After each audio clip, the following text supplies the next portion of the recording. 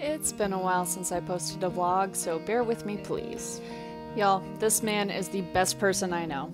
We met each other in high school and we fell in love in 2020, and as soon as I could, I married the crap out of him, and thus begins our story. When we first got married, I moved into his Raleigh apartment and worked out of this little corner of the living room, but my mess eventually got out of hand and we were ready to have some distance from our neighbors, so we started looking for a house to rent.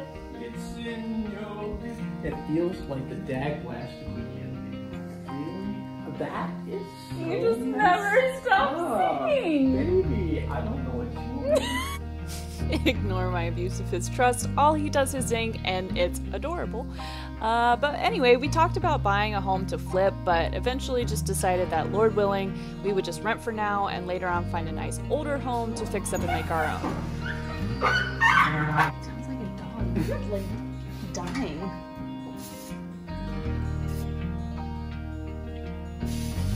There's the light switch. Hmm, it was a good experience because I think we learned a little bit about what it's like to actually own a home and run like a full house without actually having to own it. Rick is convinced that he can and will sit in this front seat with the easel. You all good? Fun of me. Why are you doing yourself? How would you not get hurt? That thing is like right in your face. That's the whole thing. Like, what you get hurt from a lot is like the whiplash, which is why like headrests or something. Okay, I think it would probably. I think your neck could break from that piece of wood there. Um. Even if the wood itself didn't crush you, it would probably crack and splinter and, and, and stab you. That's possible, but I don't think it would. I don't think it would crack and stab me. I'm a real goober.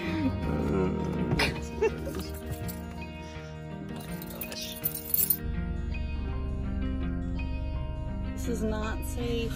Nothing about moving is safe. It's my first day actually in the house, like to do projects, to clean and to get things ready. Does it not kind of seem like we always see these home makeover videos, all the fun bits, but what no one really talks about is how you definitely need to clean the toilet that's been sitting there with still water in it for months when you first move in. So, you know, those things are a little gross to me. So I was able to move everything into the studio, but it took me a really long time to just get myself working in there because I was really just focused everywhere else. Um, I was having a bit of a bittersweet time letting go of our first apartment, and we also kept traveling, especially going back to Charlotte for a myriad of reasons, including what felt like the year everybody and their mother decided to get married. I have found that the simple task of getting something out of a box does help. It seems obvious, but when it's out in plain sight, you're more motivated to put it away because it doesn't feel put away already. Of course, the sunroom went through a lot of different iterations as I got in new furniture and made over old furniture and got rid of old furniture and all that kind of stuff. So you're gonna see a couple of different versions here as I work through it. But I really loved having my studio in a sunroom. There was so much natural light and it never got too hot. I was kind of like anticipating that, but it didn't. So it was really fun to be able to express myself in a room that was totally my own. A lot of my favorite videos to date were made in this room, and so it will always hold a very special place in my heart. Here's how it ended up.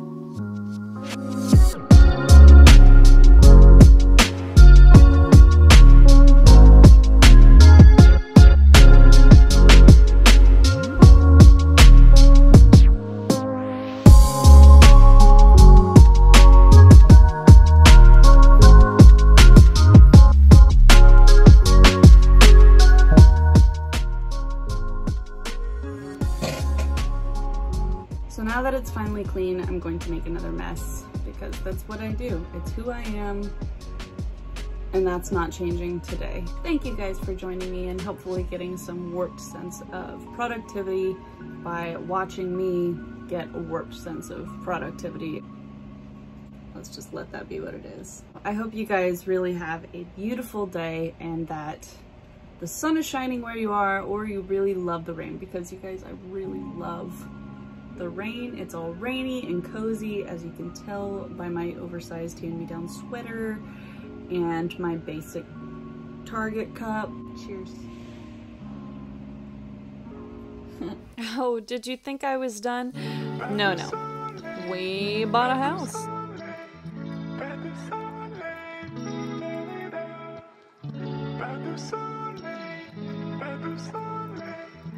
Alright, see that? Wow. Wow. Wow. How's it look? You tell me, mister. $25. Feel like a man. God, changes the space so much. I'm in my office now. I need to have some. I decided to take my four year old niece's sage advice and get my office set up so that I could be in it, and then eat in it. And of course, you know that my constantly singing husband was going to help me because he's the best.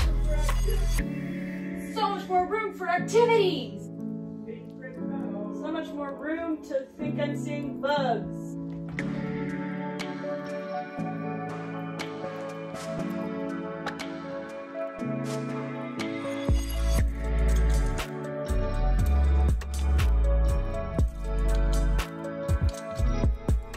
At this point in the process, I realized that I was going to need a place for all those little odds and ends of projects that I never found a place for in my old studio, and I have been on a big yellow kick. Also, we had an old intercom system that I had to cover up. And finally, I spray painted this piece, but ended up just turning it back around and selling it.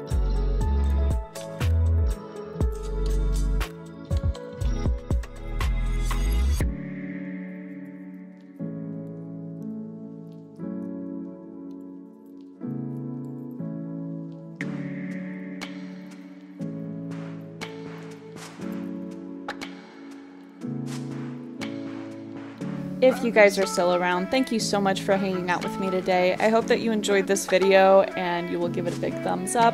If you feel like it, no worries if not.